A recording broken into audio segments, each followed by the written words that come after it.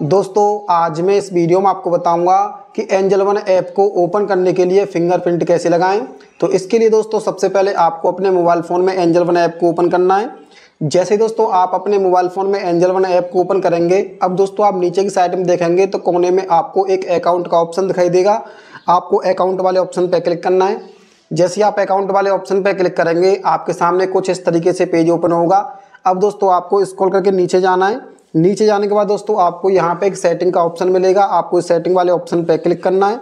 Setting पे click करने के बाद दोस्तों, आपके सामने कुछ इस तरीके से पेज ओपन होगा, जिसमें दोस्तों आप यहाँ पे देखेंगे तो आपको यहाँ पर तीन ऑप्शन दिखाई दे रहे हैं। सबसे पहला है चेंज पिन और दूसरे नंबर पर है फिंगरप्रिंट और तीसरे नंबर पर है स्क्रीन लॉक तो हमें यहाँ पे अपना फिंगर लगाना है तो फिंगर लगाने के लिए जो फिंगरप्रिंट के सामने जो परमिशन ऑफ़ दिखाई दे रही है, आपको उस परमिशन को ऑन कर देना है। जैसे आप परमिशन को ऑन करेंगे, अब दोस्तों आपको यहाँ पे अपना फिंगर लगाना है।